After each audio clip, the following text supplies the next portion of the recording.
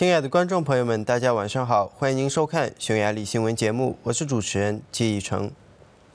匈牙利的平均工资继续上涨，按照年均计算，去年十月份平均工资增长了近五分之一，因此总计达到五十一万五百福林。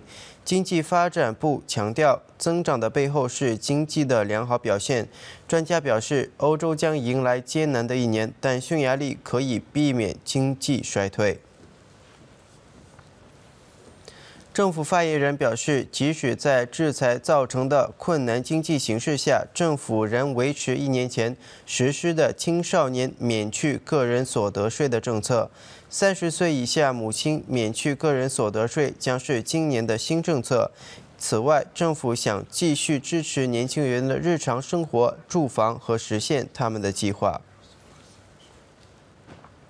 全国大家庭协会主席在 M 一电视台表示。得益于各种形式的支持，近年来已经建立了家庭生活模型。日益广泛的支持系统提供给家庭巨大的安全价值。他补充说，全国大家庭协会支持所有养育下一代的步骤，并支持年轻人决定尽快组建家庭。